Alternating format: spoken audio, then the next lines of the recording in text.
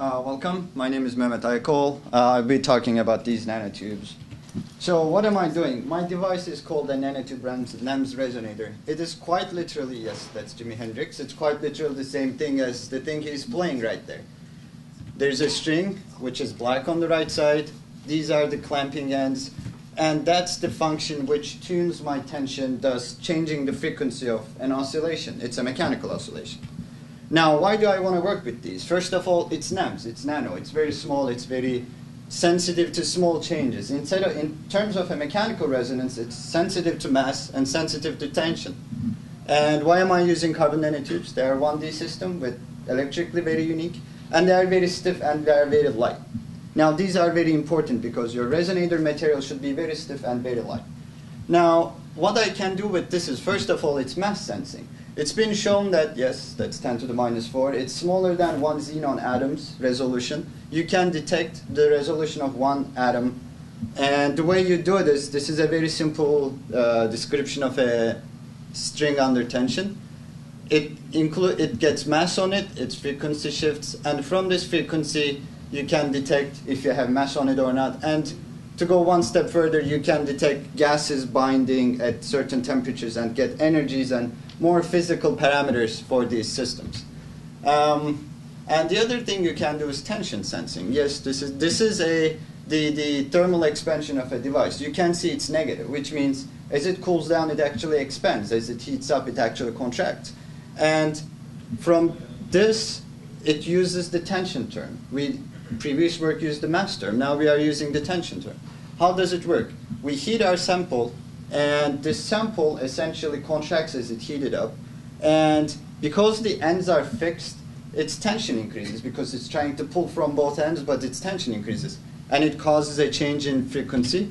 And we convert that change in frequency into a thermal expansion coefficient. And it's, we sweep it over a wide range, that's zero Kelvin, and you get a really nice negative curve, which is expected from theory. These carbon materials, like graphene, like buckyballs, and these nanotubes, they actually work the opposite way of most materials work, which is exciting. Now, this is good and all, these are all applications, but one has to understand its system to actually make it work much better. Now, one of them is the operational limits, how cold I can get, how hot uh, it can be, how about high frequencies can I achieve. Besides that, there is also the Q factor. It's a resonator. The Q factor gives you how high resolution you can get in terms of uh, frequency shifts, like how small mass can you detect, how high tension or low tension can you detect. And it becomes to the point where losses are very important. This is a resonator which works in vacuum. So the air dampening is a very crucial factor. If the pressure is too much, this thing doesn't resonate.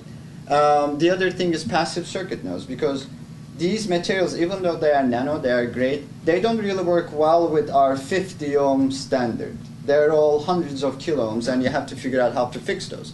The other thing is, it's more of the mechanical term in here, is the clamping loss. That's the next thing I studied. What's a clamping? So no two material actually touches itself in the way we think they touch each other.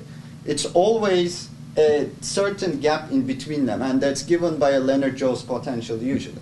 And in our case, what we have is a platinum electrode that's the clamping point and a nanotube, and they have a certain distance and an interaction. It's a force that pulls and an electrostatic force that pushes it.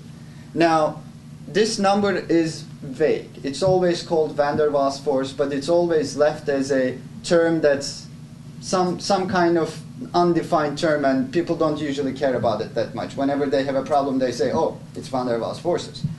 Now, what in my work, what I tried to do is actually figure out what this van der Waals force is. So what I did was, I have this black line as my nanotube, and as I heat this up, this will eventually start peeling off. And what happens is, as I heat this up, it's going to start peeling off, and eventually I completely peel off my nanotube from the surface.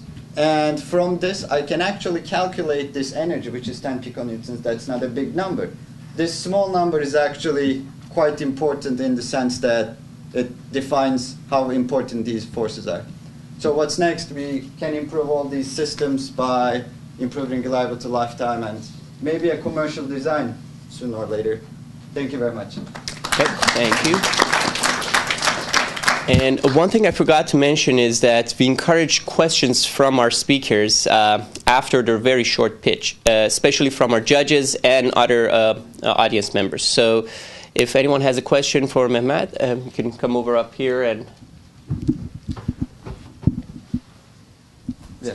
So what's the gap between you know your your research in the lab and commercialization? Um, it's actually the most important is the reliability, as I mentioned. These things are very important. Like we make them and we are going to put them into a chamber. They die in the middle because it's. I mean, we are not really careful. Even though we try to be, we are not careful. But that comes down to the reliability and lifetime issues. These things are very small. They are. We always tell them they are very stiff, efficient, strong, and all that. But in a, in the real life, they are very brittle they die even with like if the humidity is low we are not doing any experiments in the lab essentially because of electrostatics things like that it, if the reliability is improved i think commercialization is no problem Okay. Thank you. Another question? Yeah. How did you measure resonance? um, it's um, a vector network analyzer would work we do fm demodulation we send a high frequency carrier with a small low frequency um, ampli- uh, signal in it and we read the signal output at low frequency. Amplitude modulation you can do mixing. There are various methods but the most reliable is vector network analyzers because it's very simple method. Thank you